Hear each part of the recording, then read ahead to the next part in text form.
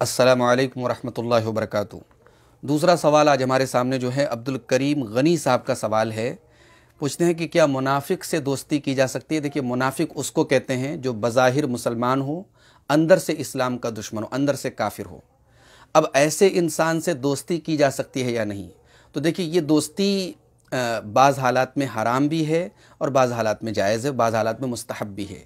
یہ دوستی کرنے والے پر ڈیپینڈ کرتا ہے۔ اگر کوئی کمزور ایمان و عقیدے کا مسلمان ہے، جس کے بارے میں یہ اندیشہ ہے کہ وہ کسی منافق سے اگر وہ دوستی کرے گا، تعلق رکھے گا، تو بجائے اس کی کہ اس کی اصلاح کرے، وہ خود اس کے کفر اور نفاق کے کاموں میں شامل ہو جائے گا یا ان کی تائید کرے گا، تو ایسے شخص کے لیے قطعاً جائز نہیں کہ وہ اس منافق سے دوستی کرے۔ لیکن اگر کوئی مضبوط ایمان و عقیدے والا اور علم رکھنے والا انسان ہے اور اس کے بارے میں یہ توقع ہے کہ وہ اس منافق کے ساتھ اگر تعلق رکھے گا، تو اس کے کسی کفریہ یا نفاق والے کام میں اس کا سب سپورٹ نہیں کرے گا، بلکہ اس کی اصلاح کرے گا۔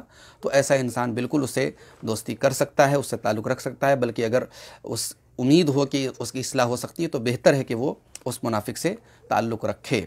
لیکن یہاں ہمیں ایک اصول یاد رکھنا چاہیے کہ پیارے نبی صلی اللہ علیہ وسلم نے ہمیں دوستی کے سلسلے میں بہت ہی محتاط رہنے کی تلقین کی ہے۔ کیونکہ انسان کے جو دوست ہوتے ہیں، جو اس کے احباب ہوتے ہیں، جن کی کمپنی میں وہ رہتا ہے، جن کے ساتھ وہ رہتا ہے، ان کا بڑا گہرا اثر انسان کے اخلاق اور انسان کی سیرت پر پڑتا ہے۔ چنانچہ ترمیزی کی اور ابو داود کی صحیح روایت ابو داود کے اندر فور ایٹ ڈبل تھری اور ترمیزی کے اندر two three seven eight number کی حدیث ہے۔ آپ صلی اللہ علیہ وسلم فرمایا، الرجل علی دین خلیل ہی فلینظر احدکم من یخالل۔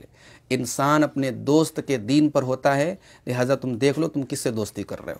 اس لیے منافق کے ساتھ دوستی کرنے سے حتی الامکان پرہیز کرنا چاہیے۔ اللہ کہ بہت مضبوط ایمان اور علم والا انسان ہو جو اس کی اصلاح کر سکتا ہو۔